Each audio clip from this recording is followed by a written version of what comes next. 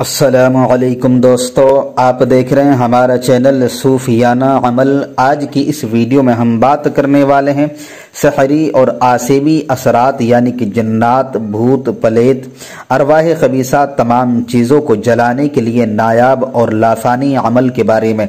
बहुत ही प्यारा, खूबसूरत वीडियो है। आपसे गुजारिश करते हैं कि वीडियो को दिल से लाइक करके आगे शेयर ज़रूर कर देना। तो चलिए दोस्तों, आज की वीडियो शुरू करते हैं। इस वीडियो को आप पूरा देखिएगा, तभी समझ में आएगा। अगर बीच में छोड़ करके चले जाएँगे तो कुछ भी समझ में नहीं आएगा। ऐसा अमल पेश कर हूँ कि जो आपको पूरे यूट्यूब पर गारंटी के साथ नहीं मिल सकता, एक बेहतरीन कामयाब अमल है उन हजरात के लिए कि जो ऐसे मरीज़ हैं, जो एक अरसे से जादू, टोना, आसेब और अरवाह खबीसा के जेर असरात रह कर तरह तरह की बलियात में गिरफ़्तार हो जाते हैं, उनके तन, धन, माल सब कुछ बर्बाद हो जाता है और उनके तन, बदन और खून में मर्ज सराहियत कर जाता है, ऐसे मरीज़ पर आम इलाज कारगर नहीं होता, बल्कि आम इलाज से मर्ज शिद्दत इख्तियार कर लेता है, यानी कि जो है बीमारियाँ बढ़ जाती हैं और मुआलिजीन आजिज हो जाते हैं। ऐसे मरीजों के इलाज के लिए आज जो अमल हम पेश कर रहे हैं, ये इंतहाई बेखता और कामयाब तरीन कबील असर अमल है।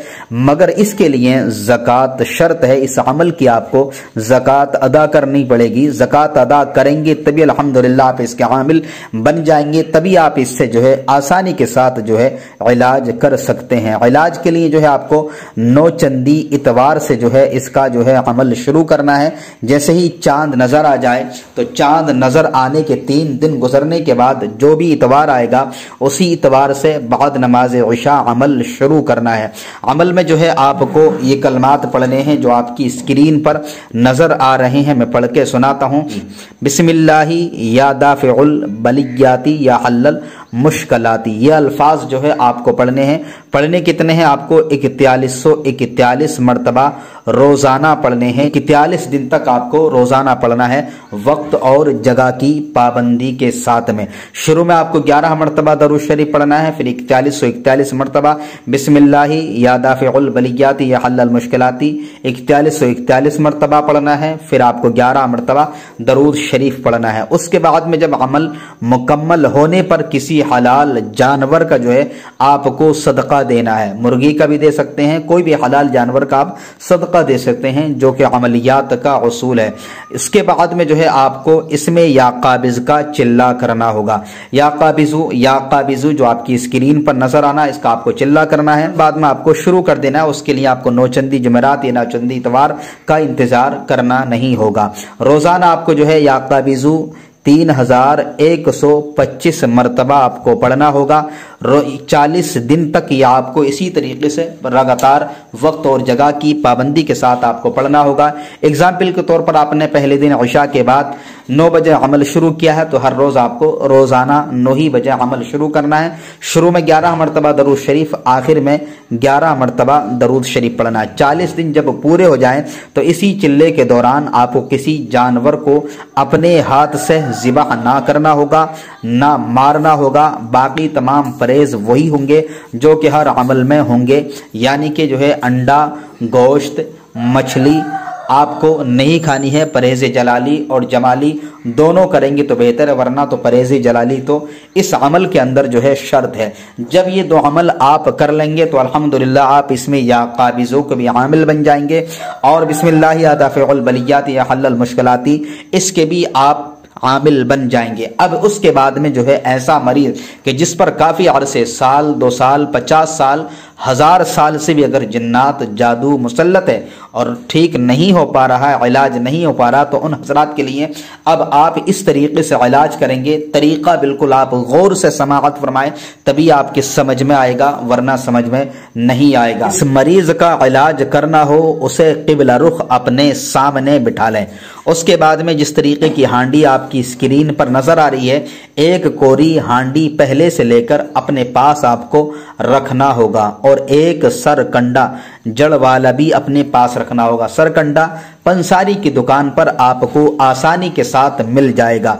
उसके बाद में मरीज़ को बिस्तर पर आप लिटा दें, मरीज़ और हंडिया का हिसार करें। इसमें या काबिज का नक्श जो है, जो आपकी स्क्रीन पर नज़र आ रहा है, ये नक्श आपको पहले से ही जो है लिख करके तैयार कर लेना है। इस तरीके से आपको खाना बना लेना है। बनाने के बाद में बेहक या चारों साइड में बेहक या काबिज, बेहक या काबिज, बेहक या काबिज आपको लिख देना है। फिर उसके बाद में जो है तकबज़ फिर उसके बाद में जो है या काबिज वल कब्दा फिर उसके बाद में जो है फ़ी कब्ज़ा कब्ज़क या काबिज आपको ये चारों सेट में आपको लिख देना है अब उसके बाद में अंदर के आदाद आपको पूरे करने हैं पहले आपको पहले खाने में यहाँ पर आपको 218 फिर 219 उसके बाद में 220 221 222 223 224 225 226 227 228 229 200 उनतीस के बाद में तीस नहीं, बल्कि दो सौ इकतीस, दो सौ बत्तीस, दो सौ तैतीस, दो सौ चौंतीस आपको लिखना है। फिर उसके बाद में नीचे की इबारत लिखनी है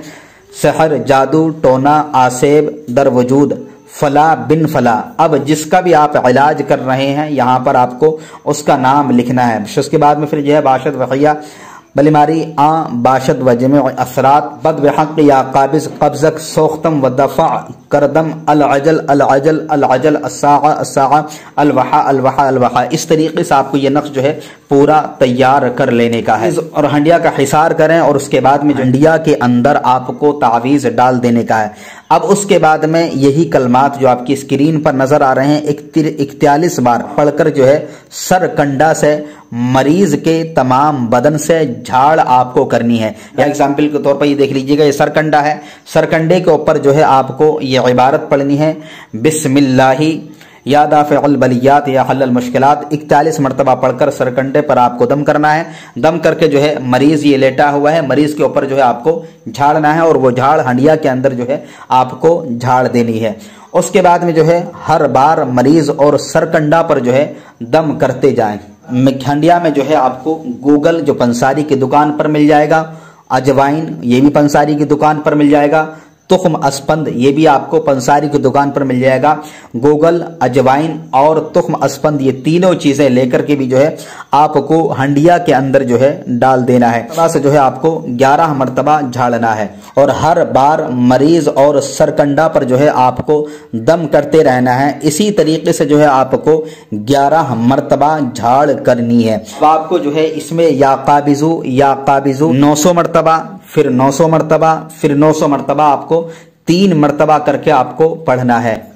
पढ़ करके जो है सरकंडा की मदद से, तमाम बदन मरीज़ से, जमे असरात को कब्ज करने की नीयत और कामिल तस्वुर से जो है झाड़ कर हांडी में आपको झाड़ देना है और सरकंडा के भी जो है टुकड़े टुकड़े करके हंडिया में जो है आपको डाल देना है। हंडिया के ऊपर उसका ढक्कन रख करके जो है आपको सट्टी के चावल और गेहूँ के आटे की मदद से जो है उसका मुँह बंद आपको कर देना है। और चूल्हे पर रखकर खूब आग जलाएँ ताकि हंडिया के अंदर सरकंडा, नक्श, अजवाइन वगैरह जितना भी आपने सामान डाला है, वो सब का सब जलकर बिल्कुल खाकिस्तर हो जाए। तो हांडी को उठाकर किसी दरिया, नहर या वीरान कुएँ में आपको जो है फेंक करके आ जाना है। इस तमाम अमल के बाद मरीज़ को फौरी तौर पर गसल करने की हिदायत करें, यानी कि उसको नहलवा दें। उसके बाद में मरीज़ के बदन के कपड़े जो दौरान अमल जेब तन थे, यानी कि वो पहना हुआ था दोबारा ना पहनने की हिदायत करें। बेहतर यह है कि वो कपड़े धोकर किसी गरीब को दे दें। इस तरीके से आपको जो है मरीज़ का इलाज करना है। बहुक्म खुदा ताला एक ही बार के अमल से बरसों का इलाज मरीज़ तंदुरुस्त हो जाएगा। मरीज़ को हिफाजत के लिए कोई जाम नक्श जो आपकी नज़र में बेहतर नक्श है वो नक्श तैयार करके उसके गले में डाल दें ताकि आइंदा तमाम उम्र महफूज रहे।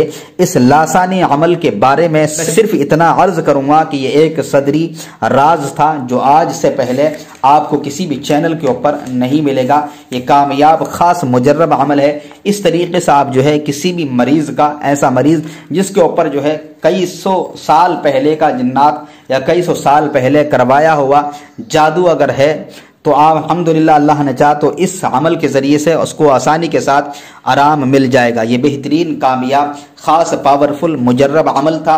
ज़रूर आजमाएँ, फ़ायदा उठाएँ।